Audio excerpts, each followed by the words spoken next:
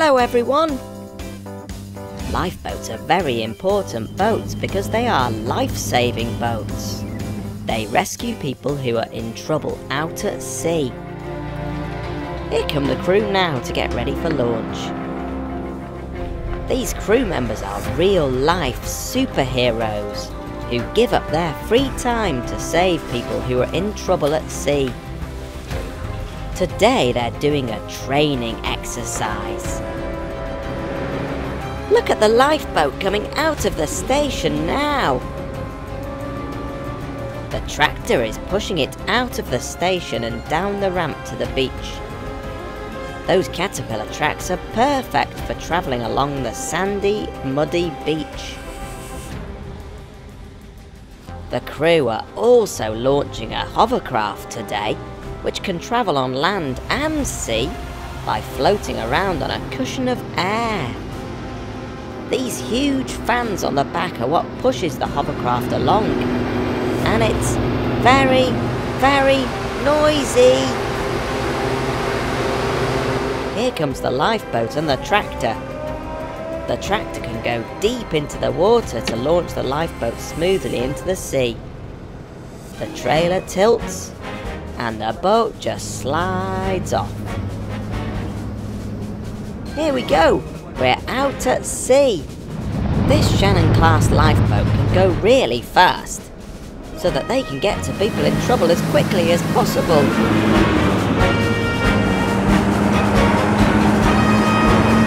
This is Andy. He's the coxswain, which means he's in charge of the lifeboat today.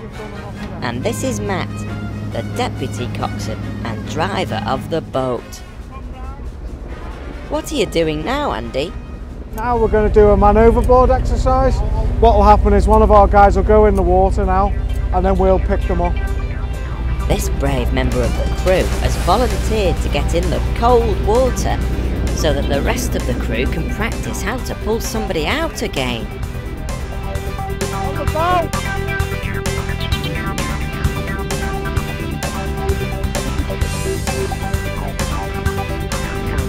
Boat! They use a special harness and ropes to pull him out as quickly and safely as possible.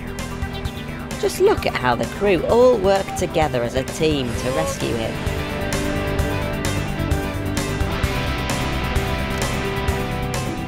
Do you want to have a look inside the lifeboat?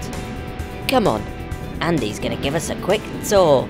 So the first seat we come to is a crew seat or a doctor's seat. So if we have to take a doctor out, the, the doctor would sit there.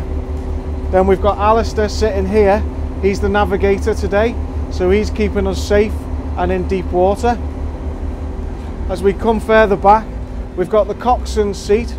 So the coxswain sits in the middle of the boat and he's able to look at everything that's going on around the boat. Alongside the coxswain we have the mechanic seat. He's looking after the engines and he has all the controls he needs for, uh, for operating anything we need during the journey out to rescue someone. We've got the radar seat. The radar is a, is a great piece of equipment. The radar will see in the dark or it'll see through fog when, uh, when we can't see anything. And then we have the helmsman seat. This is where the, the lifeboat's driven from. At the minute, there's no one sitting in here because the lifeboat's getting driven from uh, on deck. Thanks for the tour, Andy. The tractor's waiting for us on the beach, ready to tow the boat back up to the station. Well, uh, Matt, we're about to hit the beach. You better slow down. Uh, Matt? Ah! Oh. Ah. We're okay. Ah. I see. That was supposed to happen. The lifeboat's very strong and it's designed to hit the beach at speed. Now the tractor can come along and tow the boat up and onto the trailer. As well as the crew on the boat, there is also a shore crew who make sure that the launch and recovery go smoothly. Wow, that's like magic. The trailer can spin the boat around in a circle so that she's facing the right way out to sea for the next rescue mission.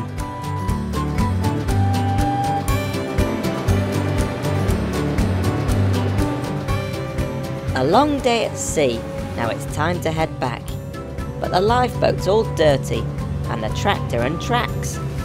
So the crew at the station all wash, scrub and clean. They really look after their rescue machine. It's very important to look after the boat so that she works for a long, long time. Now let's go for a ride on a real steam train. I love steam trains. I'm in North Wales to go on a ride through the Snowdonia Mountains and learn all about these amazing machines. Woohoo! This train is just leaving the station now. Look at all that steam coming out. It's no wonder they're called steam trains. Come on, let's get on board.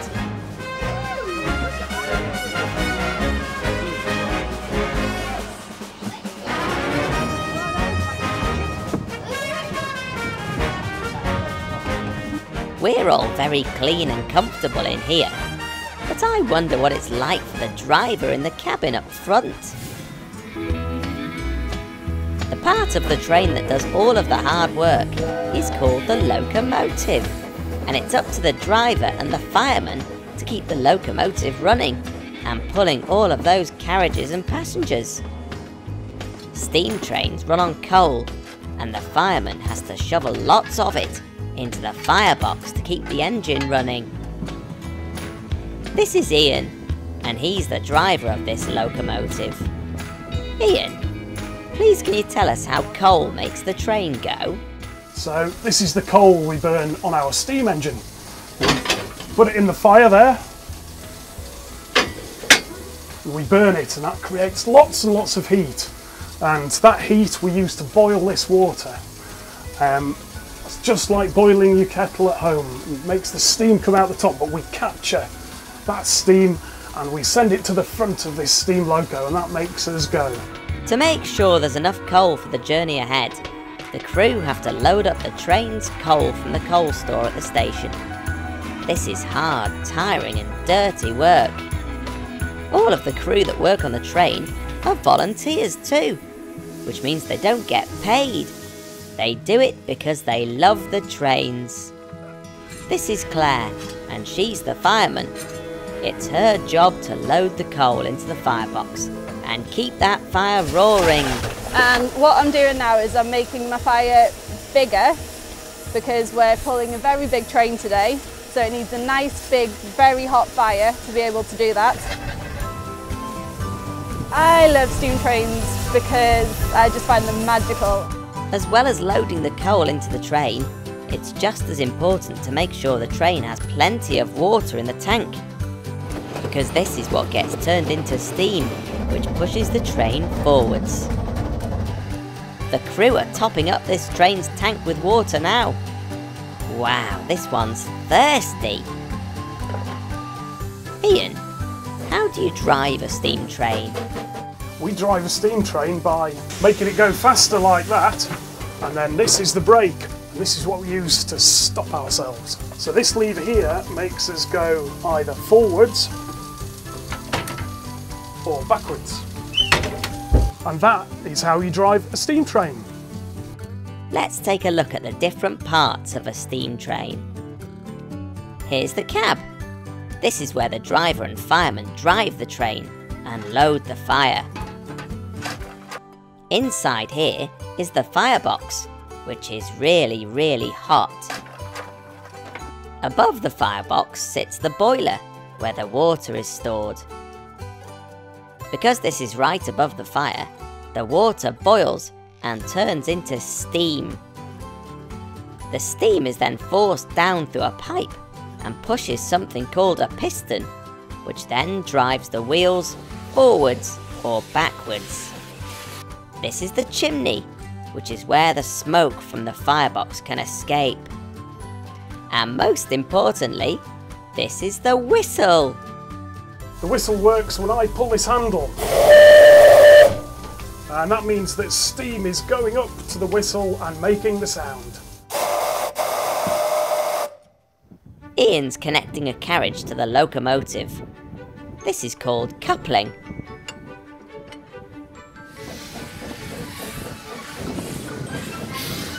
Because these trains are very old, they take a lot of looking after which is why the Ffestiniog and Welsh Highland Railway have their own special garage with an amazing team of engineers, mechanics, joiners,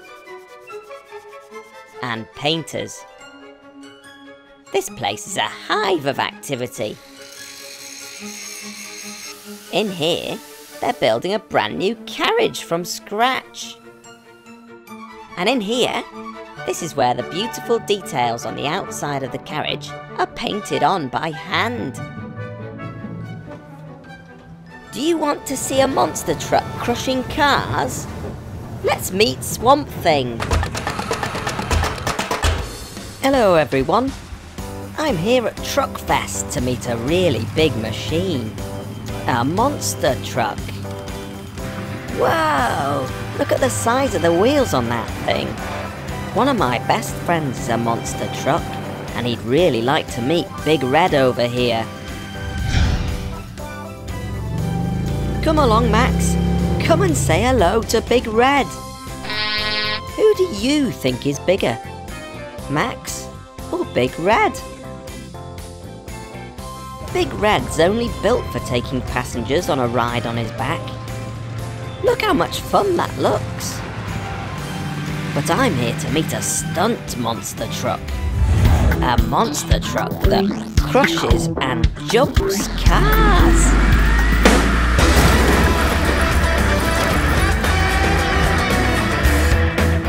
This is Swamp Thing, a huge monster truck that weighs as much as two elephants. Swamp Thing is 14 feet tall. That's almost as tall as a giraffe. Let's take a look at Swamp Thing in action.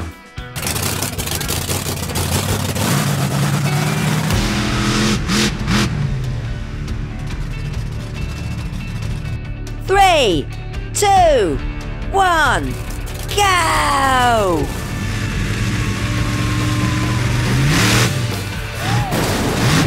Wow, just look at those cars getting crushed.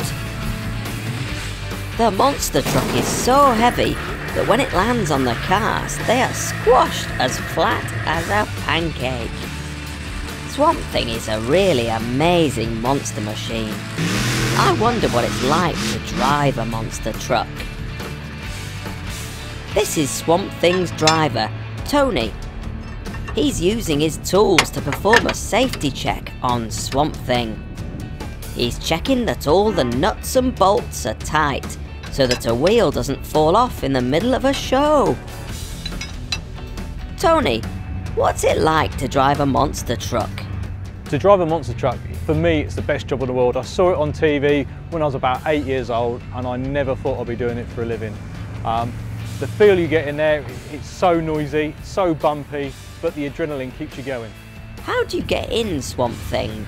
Most people think you climb on the tyres, but I'll show you how you get in. It's fairly simple.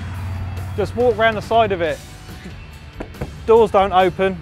What you got is a climbing frame and literally you just climb up on the inside. And then you're straight in the seat. Okay, how do you drive a monster truck? Literally, we've got one pedal for go and one pedal for stop. That's the starting and stopping. Now we've got to work out how to steer it. Front wheels is just like a car, turns in a steering wheel. Unlike a normal car, we've got back steering, so this turns on a joystick, left and right on the back. So who's ready to crush some cars?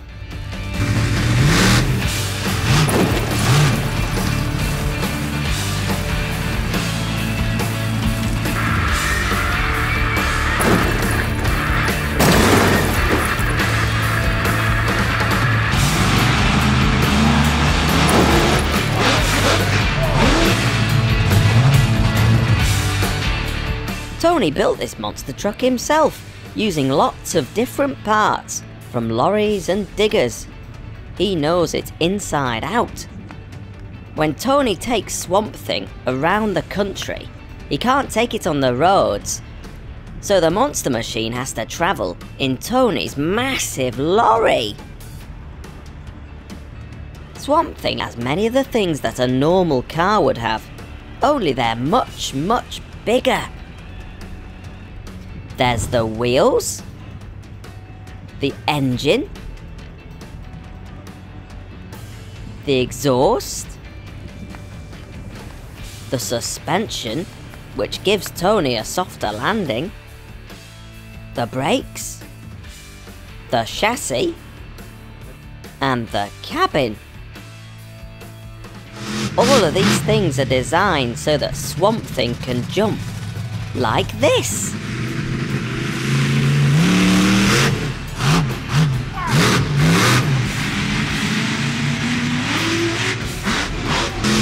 You fancy an ice cream?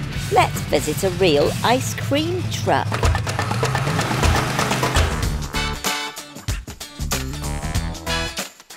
This is Mr. T, and he drives his ice cream van all over the place to serve lucky people delicious ice cream.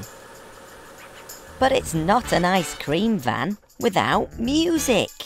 So Gecko, when we're nearly there where we need to go, this is what we do to put the music on to let everybody know that we are nearly here.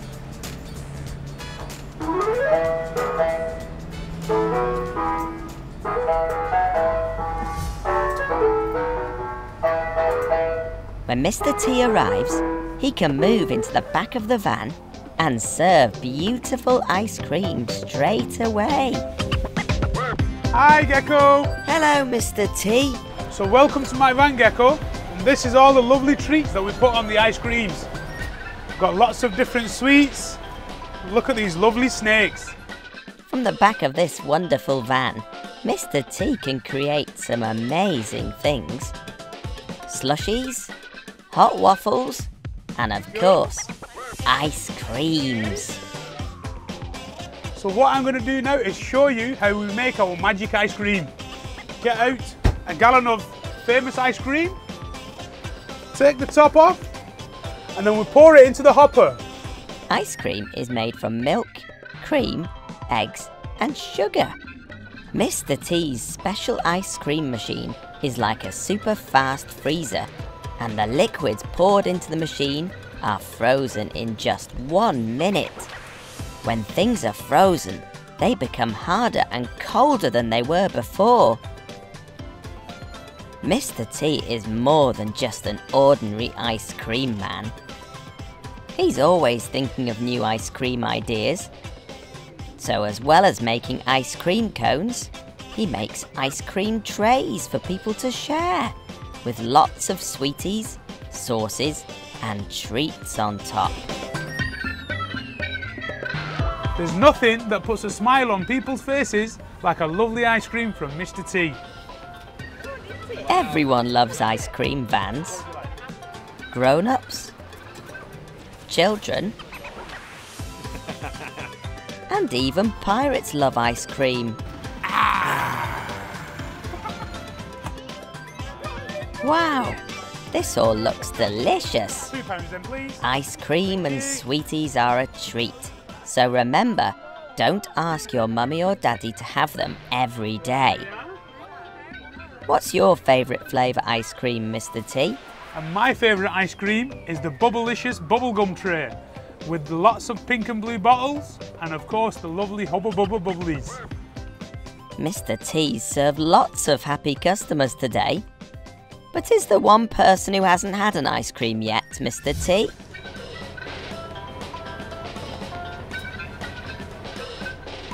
So here we are then Gecko, this one's just for you.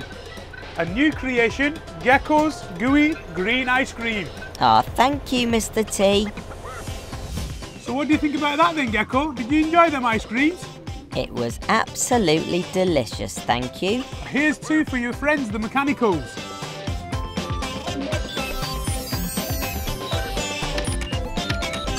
Next, I meet a real ambulance. I'm spending the day with a real ambulance today. We're going to be having a look inside, then going out on the road with the ambulance crew and visiting a special garage just for ambulances. Ambulances are one of the most important vehicles on the road. They're used to pick up people who are poorly or who've hurt themselves and get them to hospital as quickly as possible. An ambulance really is like a mini hospital on wheels. Everything in the back is here to treat people on the way to hospital. Let's meet the ambulance crew. This is Terry, the emergency medical technician, and he's just checking the ambulance to make sure everything's working properly before call out. And this is Paul, the paramedic. Paul decides how to help the poorly person on the way to the hospital and can give them special medicine. Paul lowers this special ramp by pressing a button. The ramp makes it easier to get patients on board the ambulance. If a patient needs to lie down, Paul and Terry will use this stretcher. They can then wheel the patient up the ramp and into the back of the ambulance. These special seats can fold out so that someone from the patient's family can stay with them on the way to hospital. Paul, the paramedic, can use all of this medicine and these amazing tools to make people feel better. There's also a special hatch so that Paul and Terry can talk to each other. Okay, yeah,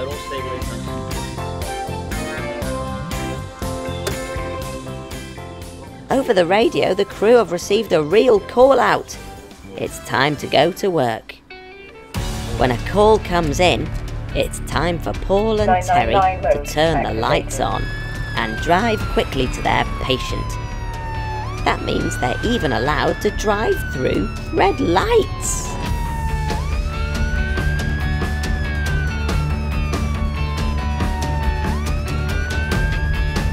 Paul and Terry's aim is always to get the patient to hospital as quickly and safely as possible.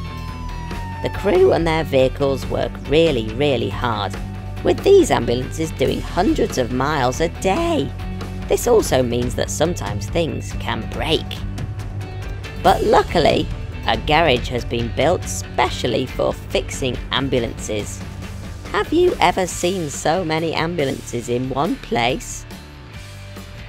The expert mechanics in this amazing workshop can fix around 25 ambulances a day.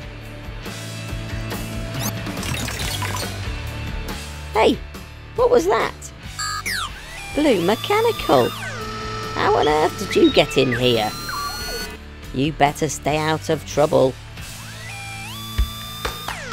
It looks like there's something wrong with one of the flashing lights on this ambulance so it's up to Tim the mechanic to fix the problem. There, that's better. Good as new. We can't have an ambulance without flashing lights, can we? After travelling hundreds of miles, ambulances can also get very dirty, so this is where they're given a good wash. Blue Mechanical, you better watch you don't get wet. Uh-oh. Too late. Who wants to see some amazing roller coasters in action next? I'm here today at Alton Towers Resort. I'm going to have a ride on some amazing roller coasters and learn all about how they work. Roller coasters are designed for one thing fun. No two are the same. They can do loops, twists, spins, and can go really, really fast. But how do these amazing roller coasters work? Let's take a closer look. Roller coasters run on tracks like trains, but there's lots of differences too. Trains only have one set of wheels that rest on top of the track, but these cars have three sets of wheels. One on the top, one on the side, and one underneath to grip the track. This means that the roller coaster can do things that trains can't, like going upside down while still staying on the track. But the main difference between trains and roller coasters is how they are powered. Power is what makes everything start just like batteries in a toy helps them turn on. A roller coaster car doesn't have an engine for power, so to get the car moving fast along the track, it first needs to be pulled to the top of a very big hill. On this ride called Nemesis, a long chain pulls the car all the way to the top. The car is then released and gravity brings it down the track at whizzing speeds. Gravity is an invisible force that pulls all things down towards the earth. It's like sliding down a slide. Gravity pulls you downwards. Woo! This ride, Oblivion, works in the same way. The chains slowly pull the car up to the top, which makes the people on the ride very nervous. Wow! Look how high that is! This ride is a straight drop, which means there is only one way down. Scary!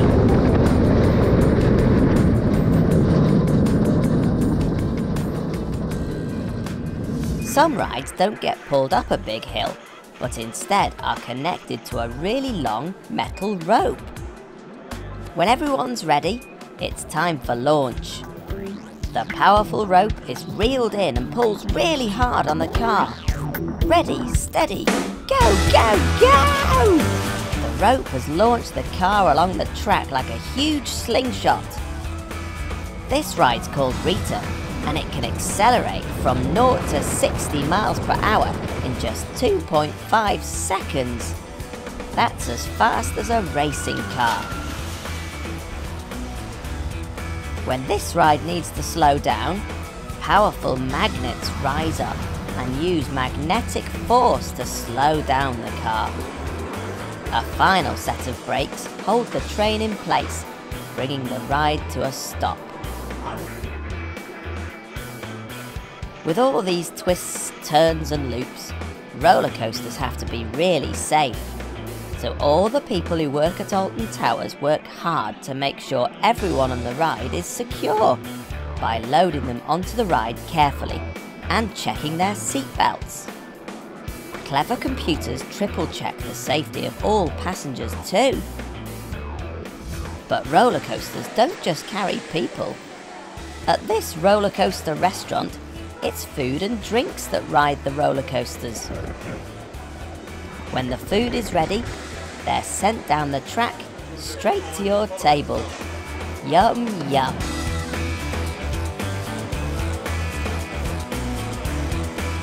Let's visit a giant truck wash now. Have you ever wondered how big trucks get cleaned? Well, we're about to find out. I'm here at a giant truck wash. These trucks drive for miles and miles, delivering important things all over the country, which means they also get very dirty. This truck wash is so popular that there's a queue of muddy trucks all waiting to get cleaned. And it can clean all sorts of different trucks. Big lorries, gas tankers, even car transporters. The trucks start by driving into the truck wash very carefully and stop once they're fully inside.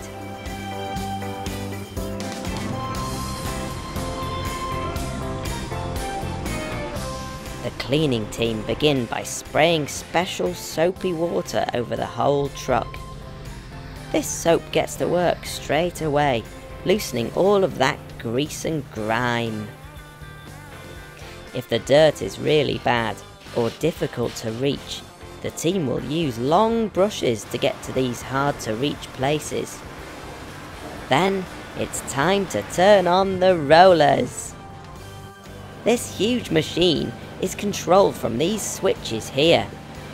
The cleaning team select what sort of truck is in the wash so that the rollers can clean the right places on the vehicle.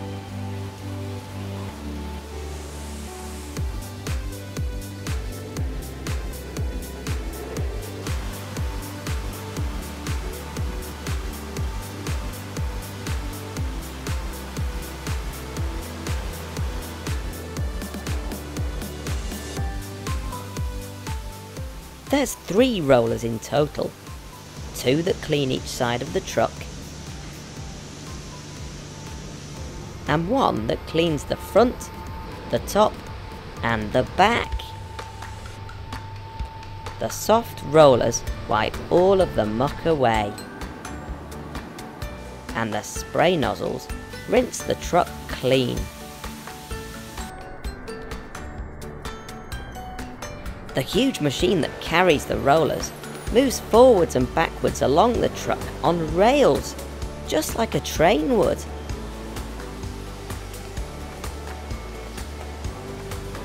This truck wash is very special too. The dirty water goes down the drain and is magically turned into clean water in this pump room. That means that most of the dirty water is recycled and no water is wasted. If there's any bits that the machine has missed, it's time for the cleaning team to use some super powerful jets to blast off that stubborn dirt.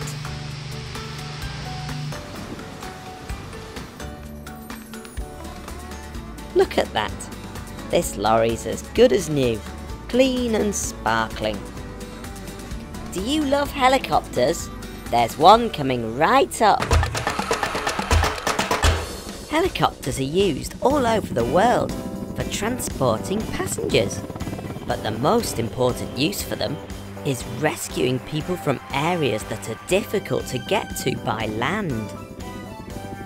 I'm here at Her Majesty's Coast Guard Base in North Wales to meet an amazing rescue helicopter and her crew.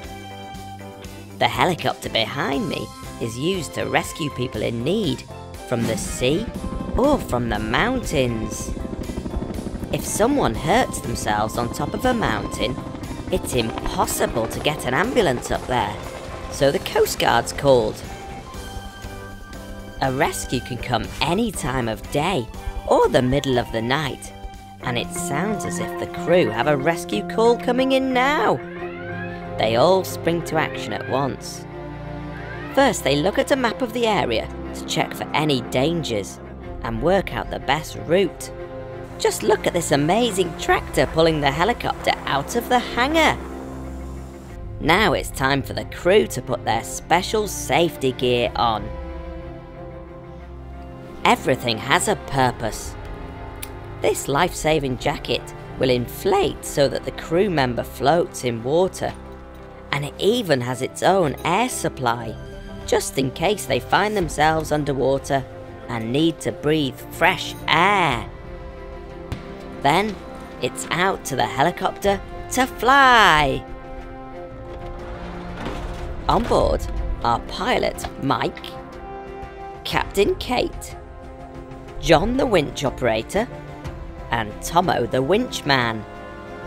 It's Tomo's job to get lowered out of the helicopter to rescue someone on the ground. After a few safety checks, it's time for takeoff. This whole process, from call to flight, takes the crew under 15 minutes. Engine start. Look at how fast those rotors can turn. The rotors chop through the air and make everything around them very windy. Whoa! I can hardly stay on my feet. Red Mechanical!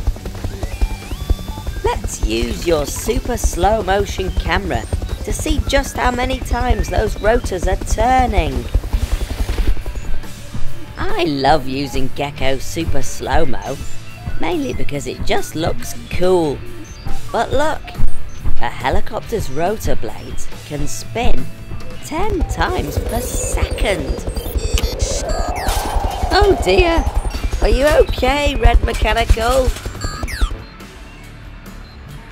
As the rotors spin faster, the helicopter lifts off the ground and flies into the air. Captain Kate controls the helicopter by pointing the rotor blades in the direction she wants the helicopter to fly. Today the crew are practicing their winching skills using a dummy instead of a real person. The pilots skillfully hover over the area just above where the dummy is. Tomo clips himself to the winch, and John carefully lowers him down. Tomo would then check how poorly the person on the ground is, before winching both of them back up to the helicopter safely.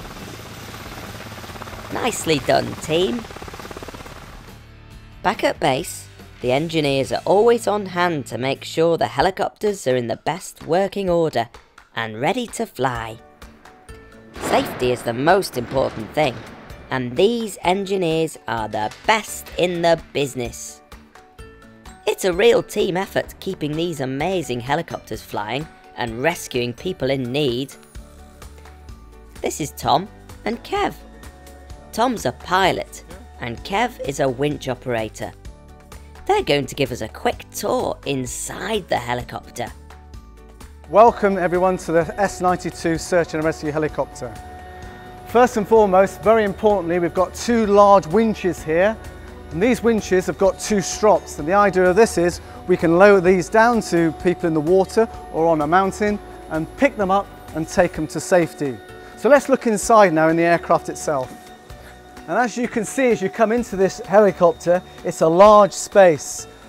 Here we've got a camera which we use when we're searching for people. This can pick up people on the water, on the mountainside. So when we've picked up our patient, which we've taken off the hoist, we bring them into, into the aircraft itself and we can put them onto this, our stretcher. And they may well be in the stretcher, but this is a lovely area for us to work on them and make them feel comfortable in the aircraft and we can give them medical treatment if they require it. Once we get to the hospital, we need to get our patient out of the aircraft safely and the best way we can do that is we lead them and lift them off here down through the ramp itself off the aircraft into the hospital where they can be looked after. Okay, this is the cockpit of the helicopter. There are two pilots, one sits here in this chair and the other one sits on the other side. These are the controls to fly the helicopter. This one moves the helicopter forwards and backwards and this one moves it up and down and then there's two pedals down on the floor as well and that keeps the helicopter straight. We've got two engines and they're controlled on these screens and then we've got a map in the middle to see where we're going. Our next real vehicle is a recycling truck.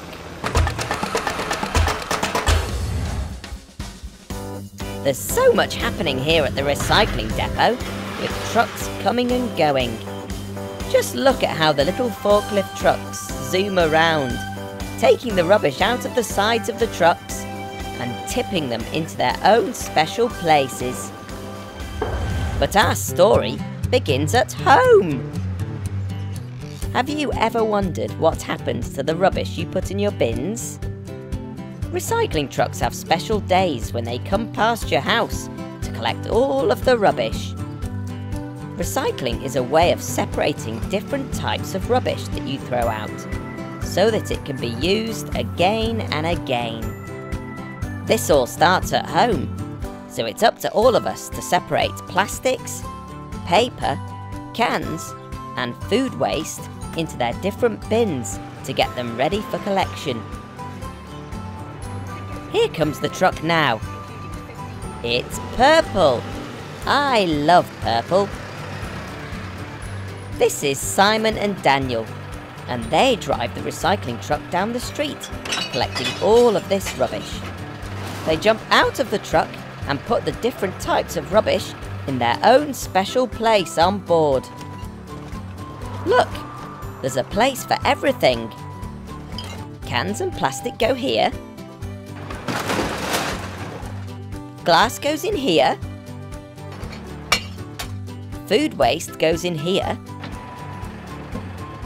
With paper and cardboard at the back in these compartments.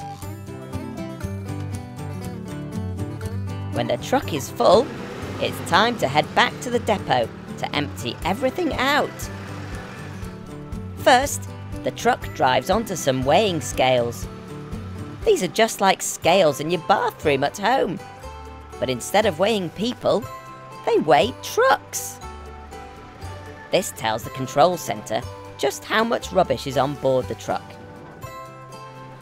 Then, it's time for the zoomy little forklifts to do their whizzy work. They pull each container out from the sides of the truck and drive them to their own special place at the depot. Wow! Listen to that noisy glass.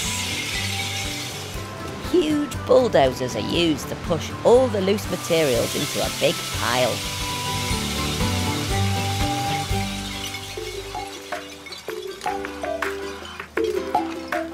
Then, to make everything smaller so that it can be easily transported for recycling, loose materials like plastic, cans and paper are squashed into bales.